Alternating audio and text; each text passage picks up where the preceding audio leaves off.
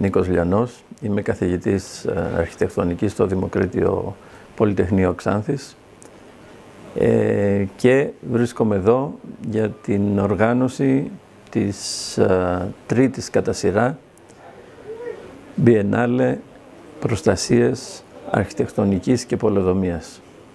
Αυτός ο οργανισμός ανήκει ως πνευματική ιδιοκτησία σε μια διεθνή ομάδα που έχει έδρα τη Φλωρεντία και ε, τον έχουν ιδρύσει καθηγητές από την ε, Σχολή Αρχιτεκτονικής Φλωρεντίας.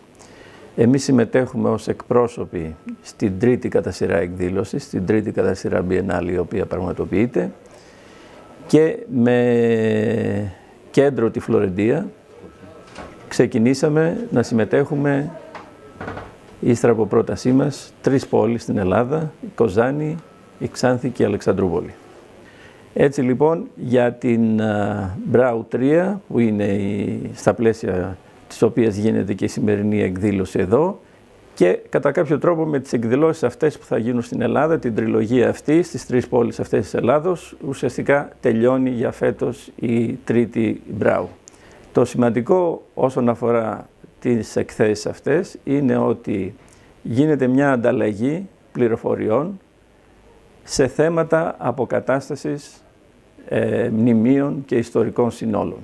Θέματα τα οποία πολύ πιθανόν συνάδελφοι, άνθρωποι γειτονικών πόλεων ή οτιδήποτε άλλο να έχουν επιμεληθεί και τα οποία δεν είναι γνωστά.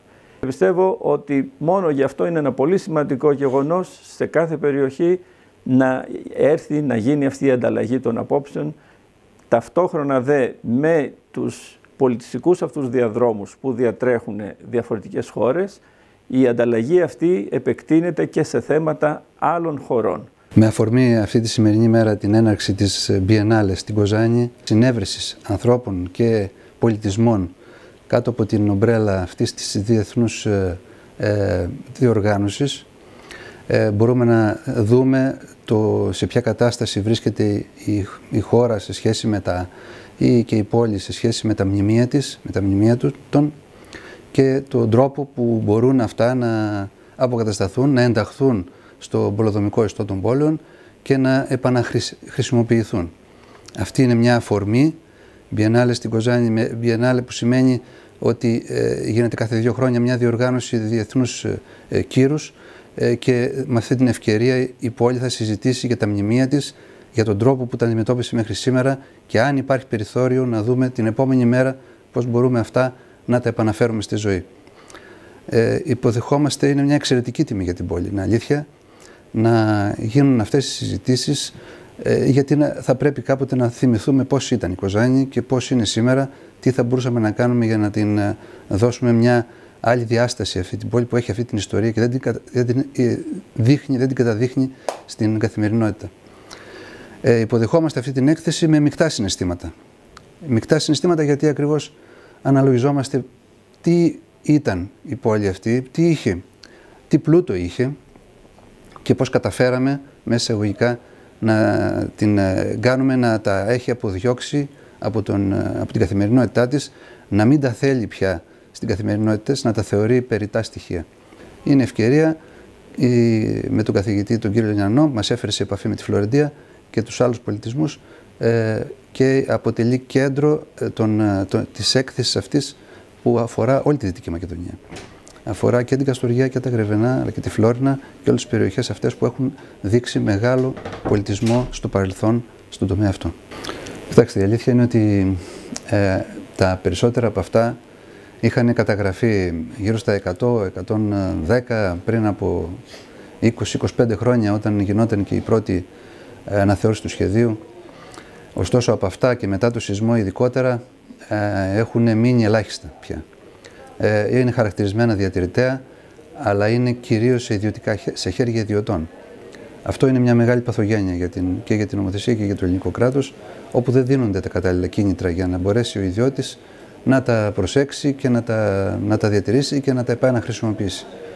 Ε, επαφίεται δηλαδή στην ε, καλή διάθεση του, του ιδιώτη και του ιδιοκτήτη να, να τα αξιοποιήσει. Δεν είναι εύκολο αυτό, το ξέρουμε και αυτές τις εποχές είναι ακόμη πιο δύσκολο. Ε, είναι γεγονός ότι έχουμε δεμένα τα χέρια σε αυτή την κατεύθυνση. Ωστόσο, εμείς μέσα από την, ε, το σχεδιασμό μας ως Δημοτική Αρχή θα θέλαμε να περιλάβουμε και κάποιες περιοχές ανάπλασης και επανασχεδιασμού που να παραπέμπουν στο παρελθόν της πόλης, ε, παρελθόν το οποίο δεν καταδεικνύεται με μια βόλτα απλή. Ε, επίσης με τον σχεδιασμό των, της κυκλοφοριακής μελέτης θα θέλαμε να, ε, μέσα από πολιτιστικές διαδρομές να μπορέσει ο, ο επισκέπτης να τα ανακαλύψει αυτά, έστω τα ελάχιστα που βρίσκονται εν ζωή. Το Τεχνικό Επιμελητήριο συμμετέχει στη διοργάνωση της Μπράου 3. Ε, είναι μια στάση που γίνεται στην Κοζάνη. Εμείς το απλώσαμε ως τεχνικό επιμελητήριο, ζητώντας να καλύψει το σύνολο της Δυτικής Μακεδονίας. Και γι' αυτό υπάρχουν εκθέματα από όλη τη Δυτική Μακεδονία, διότι είναι μια πρώτη τάξη ευκαιρία, πέρα από την ανάδειξη της αρχιτεκτονικής μας κληρονομιάς, να αναδείξουμε ιδιαίτερα τον επιστημονικό πλούτο της Δυτικής Μακεδονίας σε σχέση με τους αρχιτέκτονες και τους υπόλοιπους μηχανικούς που ασχολούνται με το αντικείμενο της συντήρησης, της ανάδειξης και της επανάχρησης των μνημείων. Γι' αυτό, πέρα από την διημερίδα που ξεκινάει σήμερα στο Μουσείο και συνεχίζει αύριο στον χώρο Τεχνικού Επιμελητηρίου, θα υπάρξει πληθώρα παράλληλων εκδηλώσεων και στην Εορδέα και στην Καστοριά, στα Γρεβενά, όπως μπορείτε να δείτε και στο πρόγραμμα. Και αυτό έχει ως στόχο, θα ξεδιπλωθεί κατά τη διάρκεια της έκθεσης που ξεκινάει σήμερα και τελειώνει στις 13 Δεκεμβρίου. Ε, θα εργαστούν και θα προβάλλουν ε, τα πετρογέφυρα αλλά και τα μνημεία των, των Γρεβενών. Ε, σας ευχαριστούμε εκ των προτέρων για, την, ε, για το γεγονός ότι στις 9 Δεκεμβρίου θα είμαστε στα Γρεβενά για κάτι αντίστοιχο. Ενώπιον ανθρώπων που γνωρίζουν αυτό που λέγεται αρχιτεκτονική, αυτό που λέγεται χωροταξικός σχεδιασμός, αυτό που λέγεται χωροταξικός σχεδιασμός και ύπεθρος χώρος, θα ήθελα να κάνω μια, μια πρόταση. Όσοι από εσάς θεωρούν ότι μπορούμε να έχουμε μια σημαντική παρέμβαση ε, σε επίπεδο ε, κοινοτήτων στην ε, περιφερειακή κοινότητα Γρεβενών, μία πρόταση για μία αναμόρφωση ή μία πρόταση για μία βελτίωση κάποιου από τα βλαχοχώρια, από τα πέντε βλαχοχώρια που υπάρχουν στην περιφερειακή ενότητα, είμαστε στη διάθεση όλων να συζητήσουμε για το πώς μπορούμε να το υλοποιήσουμε. Αυτές, αυτά τα χωριά είναι το Δοτσικό, η Σαμαρίνα, ε, η Καλονή και κάποια άλλα και ε, θα σας ε, προτείνω να τα επισκεφτείτε, διότι θεωρώ ότι υπάρχουν ιδιαίτερα αρχιτεκτονικά στοιχεία τα οποία, τα οποία μπορείτε να, να δείτε. Σας ευχαριστώ πολύ.